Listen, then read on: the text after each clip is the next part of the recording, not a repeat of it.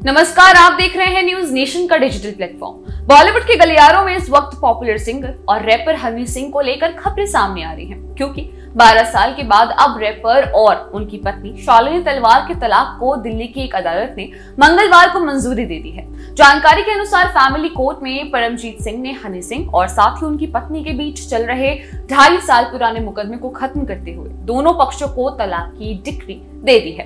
हनी सिंह पर उनकी पत्नी ने घरेलू हिंसा के आरोप लगाए थे।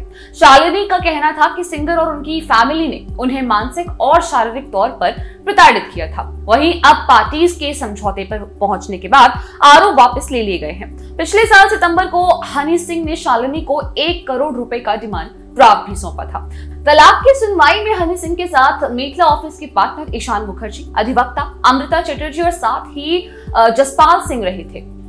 बता दें कि हनी सिंह और शालिनी ने शादी से पहले करीब 20 साल तक एक दूसरे को डेट किया था। फिर कपल ने साल 2011 में दिल्ली के गुरुद्वारे में सिख रीति रिवाजों के साथ धूमधाम से शादी की थी। दोनों की शादी काफ़ी सीक्रेट थी, जिसमें सिर्फ़ उनके परिवार के लोग ही शामिल हुए थे।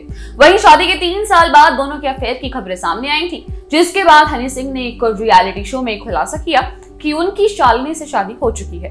बता दें कि हनी सिंह म्यूज़िक की दुनिया का बड़ा नाम है, जिन्होंने ना सिर्फ़ कई हिट एल्बम की हैं, बल्कि हिंदी सिनेमा की कई सुपरहिट फ़िल्मों में भी बेहतरीन गाने गाए हैं।